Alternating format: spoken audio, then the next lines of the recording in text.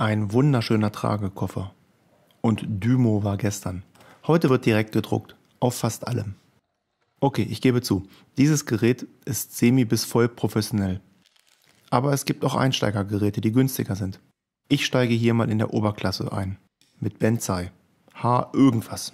Links in der Videobeschreibung.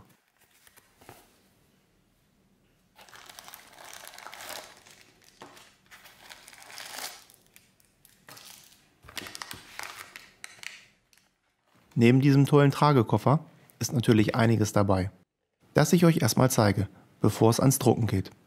Der Drucker selbst kann als mobiler Handdrucker genutzt werden oder fest in einer Industrieanlage verbaut. Hinter einer wabbligen Klappe sitzt der Anschluss für den Sensor, Stromversorgung und ein USB-Eingang zur Dateiübertragung. Darüber eine Status-LED, der Ein- und Ausschalter sowie die Entriegelung für das Tintenfach. Da oben kommt die dann rein. Zeige ich später.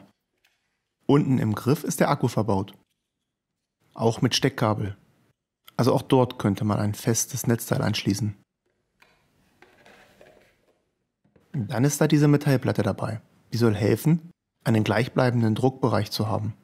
Beim manuellen Drucken kann man dann eine Vorrichtung haben und so immer an der gleichen Stelle drucken. Das hilft auch bei runden und zu kleinen Teilen. Das ist der Lichtsensor der immer, wenn ein Produkt auf dem Laufband vorbeikommt, den Drucker aktivieren kann. So ist dann alles vollautomatisch. Aber nicht nötig. Natürlich das Netzteil, was den Akku legt oder den Scanner versorgt. Ein USB-Stick, eine Rollhilfe für den rein mobilen Einsatz. Dadurch verkantet man weniger und bleibt mehr in der Spur.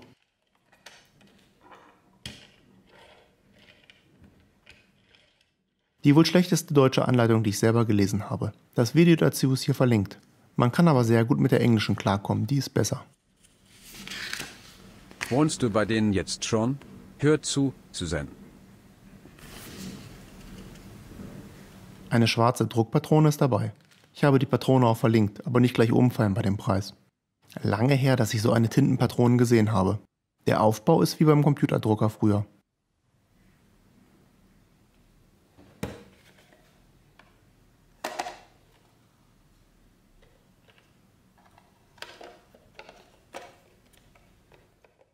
Beim Einsetzen sollte die Patrone nicht so rausstehen. Sie verrastet deutlich hörbar.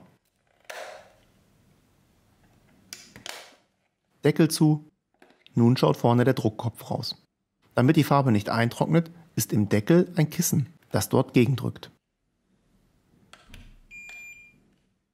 Let's go.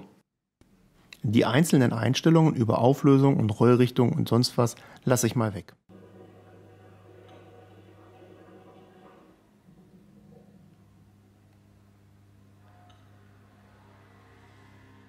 Hier stellt man den Druck ein. Man kann verschiedene Inhalte miteinander kombinieren. Diese kann man je nach Größe auch untereinander oder halt hintereinander setzen. Ich starte mit einem einfachen 2D-Barcode. Es ist auch möglich, Variablen zu setzen, auch Zähler und auch automatisch ein zukünftiges Datum, zum Beispiel für ein Mindesthaltbarkeitsdatum, welches nach Druck vier Monate sein sollte. Die Konfigurationen kann man auf dem Gerät speichern. Zum Testen habe ich mir jetzt verschiedene Dinge zusammengesucht. Eine Stabtaschenlampe, welche hinten Metall hat und vorne Kunststoff und sehr rund ist. Tütchen. Ein bedruckter Karton, auf dem schon ein Druck von einem solchen Drucker drauf ist. Hier ein anderes Produkt aus Metall und einer Rundung ein Messer mit Materialmix und einfach so ein 0815 Versandkarton. Druck in der Auswahl aktivieren, aufsetzen und den Trigger am Griff gedrückt halten, dann rollen. Geschwindigkeit und Gleichmäßigkeit muss nicht hundertprozentig genau sein. Das Gerät passt sich entsprechend an. Die Tütchen sind im direkten Druck ohne die Metallplatte ein Problem. Da verwischt die Tinte drauf. Für sowas sollte man auch die Metallplatte nehmen. Dann wird es besser.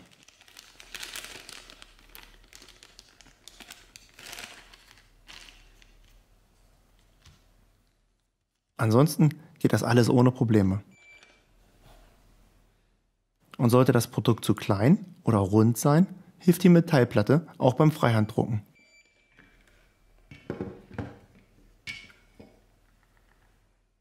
Ich bin begeistert von dem Ding. Nicht nur, weil man die Aufkleber vom Dymo immer wieder abmachen kann oder die auch selber abfallen. Und hier ist es dann einfach dran. Sondern auch, weil es viel professioneller aussieht. Ich habe in der Zwischenzeit viele Dinge bedruckt, unter anderem die ganzen Schulbücher und Utensilien. Es sieht aus wie vom Hersteller personalisiert. Genial. Und die ganzen Tupper-Vorratsdosen und wo man noch überall drucken kann. Einfach ein cooles Teil.